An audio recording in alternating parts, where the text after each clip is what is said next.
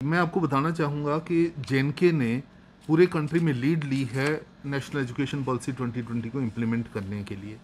और being an autonomous institution हमारी independent responsibility है कि हम अपना प्लान डिवाइस करके इसको इम्प्लीमेंट करें।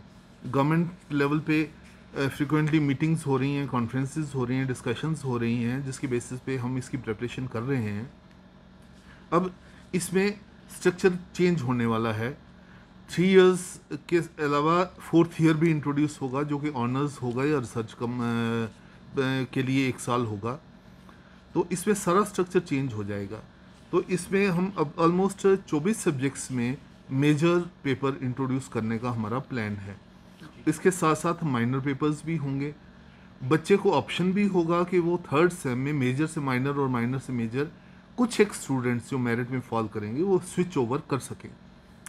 इसके अलावा इसकी मेन हाईलाइट ये है कि मल्टी डिसिप्लिनरी सब्जेक्ट भी बच्चों को पढ़ने हैं। फॉर एग्जांपल अगर कोई साइंस का स्टूडेंट है तो उसको आर्ट्स या कॉमर्स का एक सब्जेक्ट मल्टी डिसिप्लिनरी पढ़ना है जिससे उसकी एनरिचमेंट हो सकेगी। ऐसे ही अगर कोई ह्यूमैनिटीज़ का स्टूडेंट है जिसने कभी साइंस पढ़ी नहीं तो उसको भी एक बेसिक साइंस का कोर्स करना है। कॉमर्स का स्टूडेंट है उसको भी साइंस या आर्ट्स में से कुछ चुनना है। Other than that communication skill introduce वो पहले भी था लेकिन वो कंटिन्यू करेगा। लैंग्वेजेस है लिटरेचर पढ़ना चाहें बच्चे उनको अपनी पूरी फ्रीडम होगी। Multiple entry and exit option है कि बच्चा अगर एक साल के बाद छोड़ना चाहे पहले ये होता था कि अगर ग्रेजुएशन बच्चा कर रहा है और उसका एक भी पेपर रह जाता है तो उसकी वो तीन साल की एफर्ट वेस्ट होती थी। अब कैरी ऑन सिस्टम है। कैरी ऑन तो है ही है। इसके अलावा ये है कि अगर मान लिया बच्चा किसी वजह से कोई स्टूडेंट एक साल करके छोड़ देता है तो भी उसको हमने सर्टिफिकेट कोर्स एक देना है सर्टिफिकेट देना है। दो साल का बाद अगर छोड़ता तो उसको एक डिप्लोमा मिलेगा कि उसने ये ये पढ़ा है। जी। तीन साल के बाद अगर करता है तो उसको डिग्री मिलेगी। और अगर चौथा साल भी कंप्लीट करता है तो उसको ऑनर्स डिग्री मिलेगी। जी।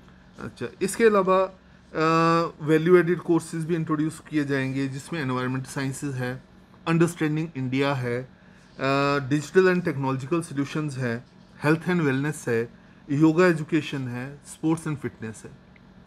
तो ये छः में से कम से कम चार कोर्सेज बच्चों को करने हैं, जिसमें दो तो हम कंपल्सरी करने का सोच रहे हैं, एक ई जो कि कंपल्सरी होना ही चाहिए, और digital solutions computer education and digital solution वो भी हम कंपल्सरी रखेंगे, बाकी बच्चे को ऑप्शन रहेगा चुनने का। देन एबिलिटी एनहेंसमेंट कोर्सेज भी रहेंगे, जिसमें बच्चा एम आई एल कर सकता है modern Indian languages English language कर सकता है या कम्युनिकेशन स्किल्स ले सकता है। उसके साथ साथ स्किल एनहेंसमेंट कोर्स जो है, पहले थर्ड सेम से शुरू होता था, अब फ़र्स्ट सेम से शुरू होगा, लेकिन अब इसको ज़्यादा मीनिंगफुल बनाए जाने का प्लान है। मतलब ये है कि तीन सेमेस्टर वो दो दो क्रेडिट का कोर्स करेगा, उसके बाद जब फोर्थ सेम कर लेता है कोई स्टूडेंट तो जो बीच में टाइम मिलता है समर वेकेशन का उसमें वो कहीं इंटर्नशिप करेगा कहीं इंस्टीट्यूट में फैक्ट्री में किसी कंपनी में बैंक में जो जो जैसी सूटेबिलिटी होगी वैसा वो इंटर्नशिप करनी है। और लास्ट में उनको इसका और भी प्रोजेक्ट ऐड करना है कुछ कोर्सेज ऐड करने हैं उसको कुछ या स्किल अगर करना है तो 12 क्रेडिट का या 10 क्रेडिट जितनी उसको ज़रूरत होगी वो करके N S T C that is national skill development council उसकी सर्टिफिकेशन मिल जाएगी। इस तरह से वो एक सर्टिफाइड स्किल्ड वर्कर बन का उसके पास एक सर्टिफिकेट आ जाएगा। तो ये सारा प्लान है। तो इसमें इसके साथ साथ ये भी मैं आपको प्राइज़ करवाना चाहूँगा और पब्लिक को through your media that last year भी हमने हम पहला कॉलेज बन गए थे जिसने एंथ्रोपोलॉजी इंट्रोड्यूस की है जम्मू डिवीज़न में।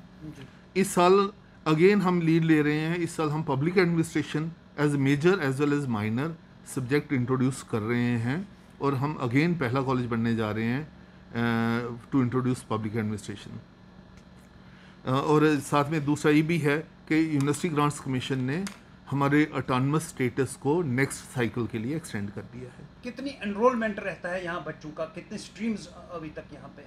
अभी स्ट्रीम्स तो हमारे पास अभी लास्ट ईयर तक पाँच थी।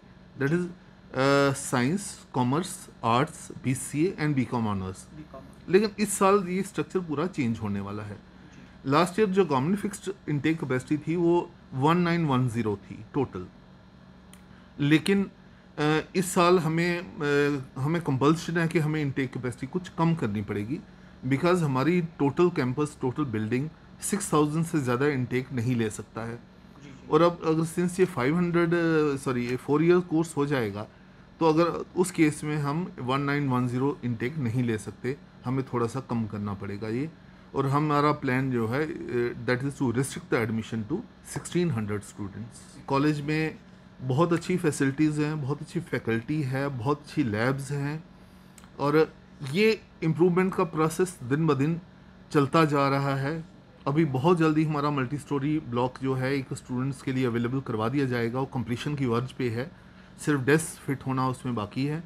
उसके बाद उसकी इनाग्रेशन होगी और वो अवेलेबल हो जाएगा। Career counselling cell innovation incubation cell entrepreneurship development ये सब भी हम उसमें प्रोवाइड करेंगे। हमारी वर्चुअल लैब भी यहाँ पे है।